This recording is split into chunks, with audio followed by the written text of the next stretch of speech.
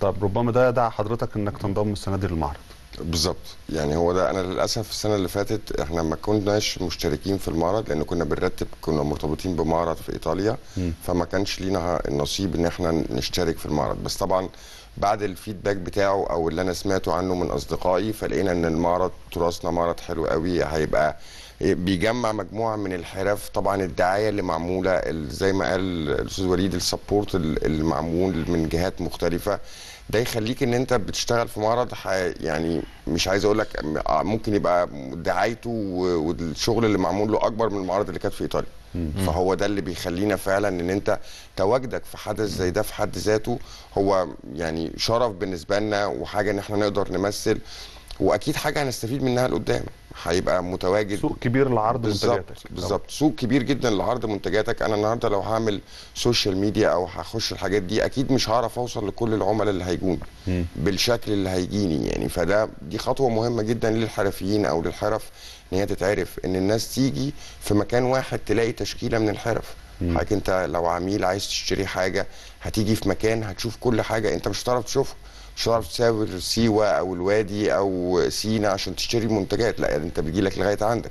فده ميزة مهمة جدا إن انت التشكيلة دي كلها وبيخلي في نوع من المنافسة.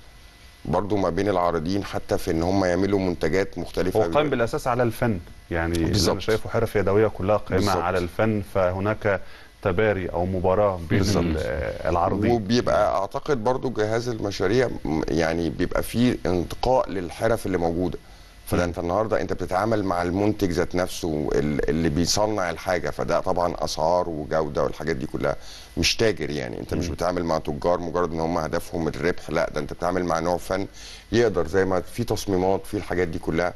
أنا ممكن ببقى أنا عارف إن أنا أعمل شغلي بس في تصميمات هتساعدني.